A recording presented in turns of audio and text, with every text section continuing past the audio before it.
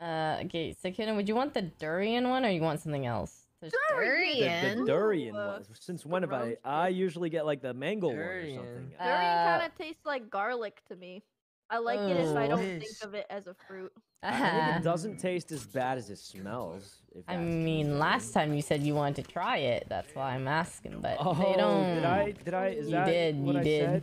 Yep. Did I say I wanted to try to? They don't have the fruit ones. Wait, w- they don't have the mango one. They don't Oh, have or am I mango an or strawberry. I don't know what I am. They don't have mango or You don't know what strawberry. Yeah.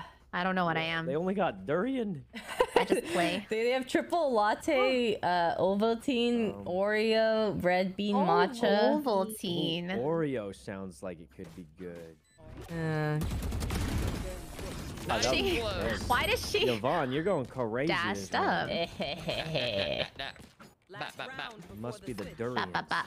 didn't eat it yet. Must be the Oh. must be the durian mellow mellow. It is. That's be why if you guys all eat durian, you'll all, uh, you know, it'll all be the same. Oh, yeah, but this is like in One Punch Man when uh, that one guy he did got beaten up by the other guy in the kung fu tournament, and then they told him to eat the monster fruit to turn him into a monster, but he didn't want to do it. He wanted to like do it his own way.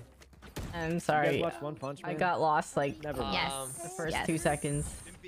First two seconds? Yeah, Timmy. Sykkuno telling his story. Ah!